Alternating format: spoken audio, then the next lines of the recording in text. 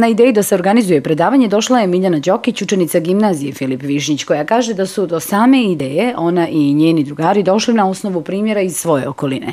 Na ovu temu podstakao ih je slučaj devojke ubijenjeni čiji su roditelji nakon njene iznenadne smrti donatorstvom organa spasili osam drugih života. Mi zapravo ovo predavanje sprovodimo u okviru projekta Ja građanin. E, to je projekat koji se sprovodi širom Bosne i Hercegovine e, i u osnovnim i u srednjim školama.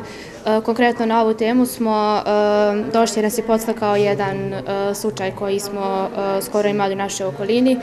Slučaj jedne djevojke koja, nažalost, nije više sa nama, ali doživjela je moždanu smrt, ali njeni roditelji su odlučili da ako je njen život uništen, da može spasiti drugih čak osam života ta priča nas je podstakla da više ovu temu pokrenemo i da više ljudi obavijestimo o ovome, da ljudi budu više informisani na ovu temu.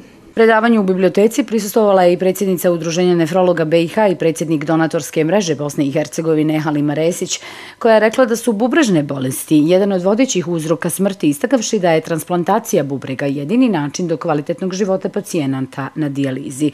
Ona podsjeća da donorska mreža u BiH ima 50.000 potpisanih donorskih kartica, te da su donori oni koji su srušili svoje predrasude. A donorska mreža prije svega ima jednu humanu i plemenitu akciju. Ja uvijek naglašavam, mislim da svi bosanci i hercegovci, kad bi im trebali organi, svako bi primio organ, ali mi moramo razmišljati kada treba i nekome da darujemo organe, jer ne postoji dovoljno organa za sve pacijente koji su na dijalizi, a prema podacima našeg renalnog registra, evo ja ću sad iskoristiti priliku da se zahvalim svim kolegama iz RS-a koji šalju svoje podatke iz 27 dijaliznih centara, imamo negdje oko 3000 pacijenata na dijalizi, a kadaverična transplantacija, transplantacija bubrega sa moždano mrtve osobe na vrlo niskom nivou, znači ili se uradi ili se ne uradi u Bosni i Hercegovini. Tako da je svijest u stvari i razvijanje kolektivne svijesti građana jako bitno i mislim da su e, e, e, e transplantacijski proces počinje u stvari u javnosti i završava u javnosti. Javnost i mediji su jako bitni u ovom svemu.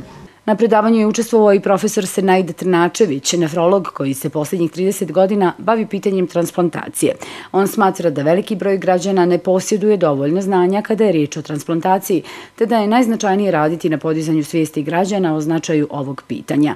Prema njegovim rečima, u BiH, nažalost, u samo jednom do dva od deset slučajeva nakon moždane smrti čovjeka, njegova rodbina pristane na donatorstvo organa.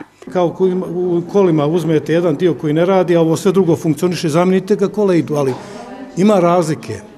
Ljudski organizam je kodiran na drugi način.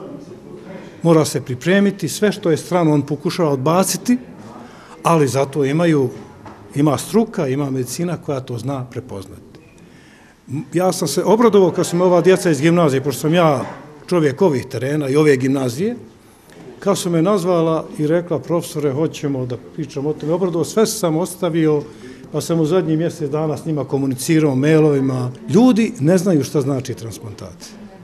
Ljudi misli da je to nešto teško, treba se pričati sa svijetom, treba educirati straništvo.